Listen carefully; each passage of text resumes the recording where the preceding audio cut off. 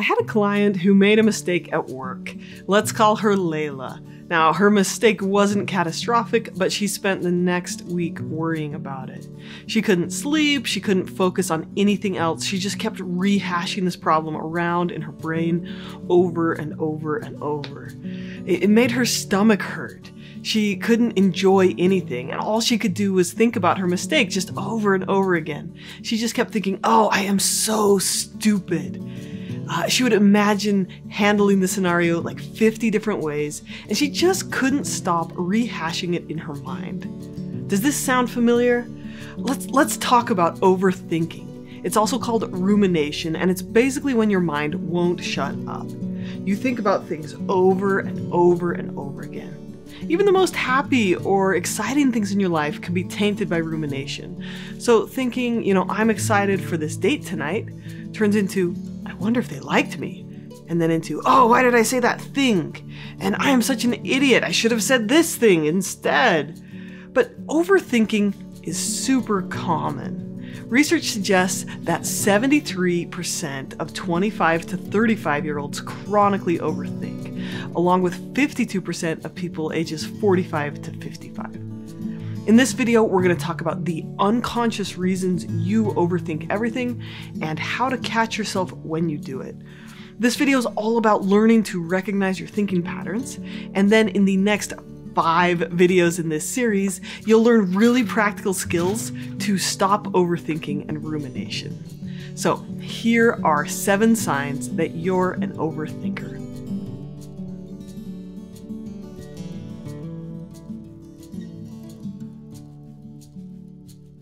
This video is sponsored by BetterHelp.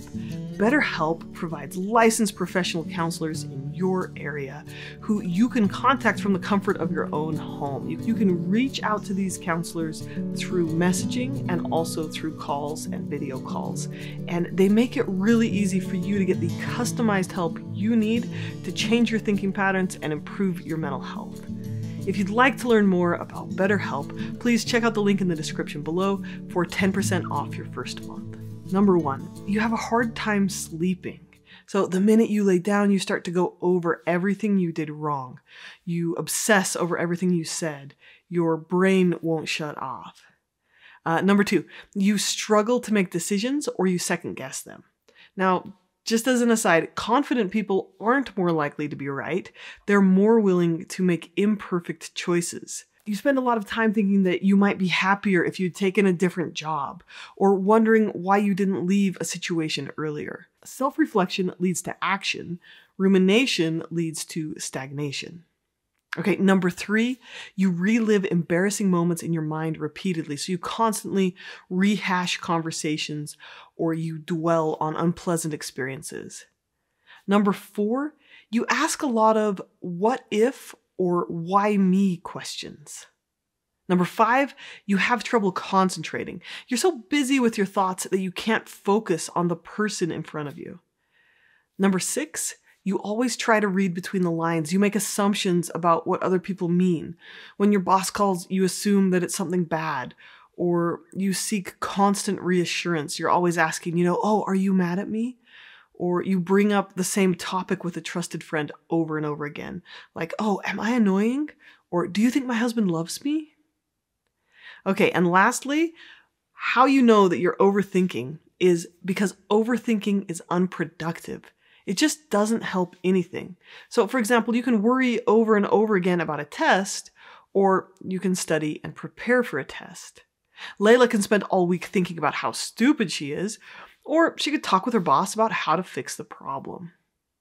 You might think that overthinking is healthy or helpful, but Amy Morin, the author of 13 Things Mentally Strong People Don't Do, said overthinking is also different than self reflection. Healthy self reflection is about learning something about yourself or gaining a new perspective about a situation. It's purposeful. Overthinking involves dwelling on how bad you feel and thinking about all the things you have no control over. It won't help you develop new insight. In my opinion, there's four types of unproductive overthinking. There's depressive rumination. So this is just only thinking about negative events, chewing it over and over and over again. Depressive rumination says things like, oh, why is life so awful? Why am I such a failure? Why is this world so cruel? Why can't I ever be happy? Things like that. The second type of overthinking is anxious rumination or worry. You might analyze past situations and imagine future catastrophes. You might think, oh, what's going to happen? Um, is World War III coming? Or what if I did the wrong thing? Okay, the third type of overthinking is decision paralysis or choice fatigue, right? You overthink decisions until you're frozen in inaction. You're afraid to take the wrong action, so you take no action at all. But even making the wrong decision is better than making no decision at all. Okay, the fourth type of overthinking, I think, is a subset of social anxiety. What did she think of me? I should have responded this way. I am such an idiot. You know, what did he mean when he said whatever he said? So, this fourth type is all about worrying about social situations. Now, rumination is the technical term for overthinking, and it literally means chewing the cud. Now, I grew up in an agricultural society, and in case you didn't know, cows will regurgitate their food into their mouth, chew it, swallow it, and repeat. And they'll do that over and over again. And then it's going to go through four different chambers of their stomachs. They spend a third of their day ruminating. And if you're a cow, that's great. It helps you process your food. But if you're a human, ruminating can harm your mental health. Overthinking is associated with depression, anxiety, PTSD, and OCD. But it's a chicken and an egg situation, right? Overthinking causes anxiety and depression, and anxiety and depression can contribute to overthinking. But overthinking is not your identity. It's not who you are. It's a habit you learned. It's something that you do, but it's not a permanent trait. You can learn the skills to stop overthinking, and when you practice them, you can change your brain. So, if overthinking is so harmful, why do we do it? When it comes to our minds, we keep doing things that we accidentally reward. We keep overthinking because we get some short term benefit from it. So, here's four rewards you may get from overthinking. The first one is a false sense of control. You might believe that if you analyze a situation to death, you might be able to control everything about it. The second one is you convince yourself that you can avoid any chance of messing up by trying to be perfect instead. So you have to think over and over and over again about how to be perfect.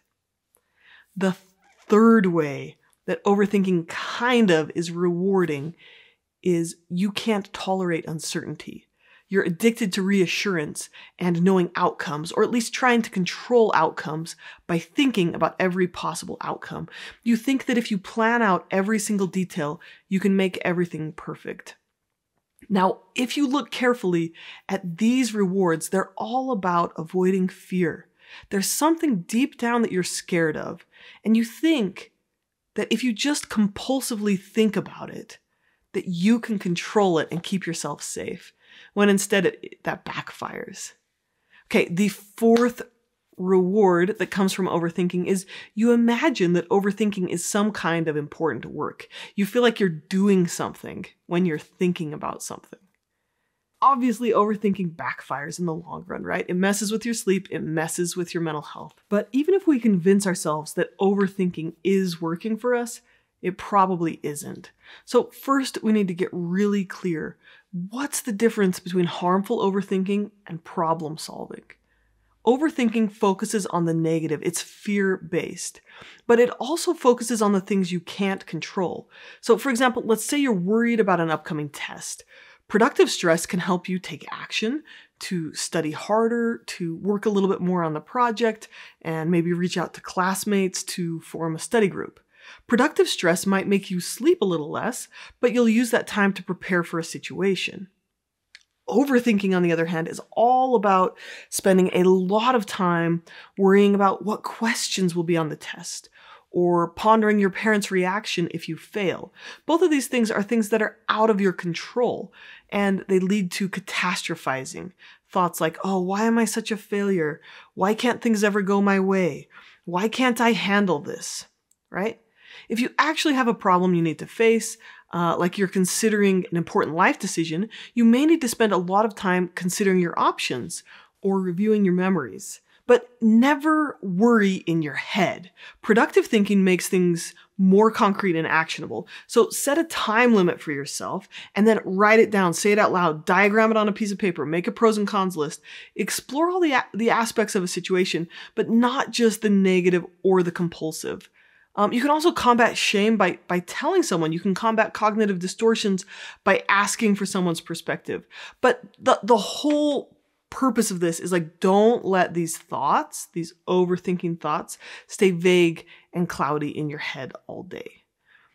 If you think that you need overthinking to be successful, you might need to ask yourself, you know, how much time am I spending on this? Is it actually helping me? And then let's get honest about how it may be negatively impacting you. And these are areas like sleep, work, relationships, your physical health, stress, tension, hem- headaches, stomach aches. Um, the truth is that overthinking actually makes you less creative and less likely to solve problems.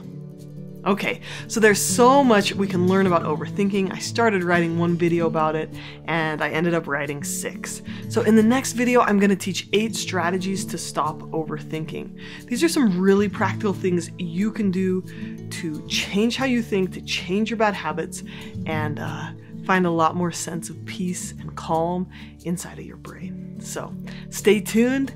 Uh, thank you for watching and take care.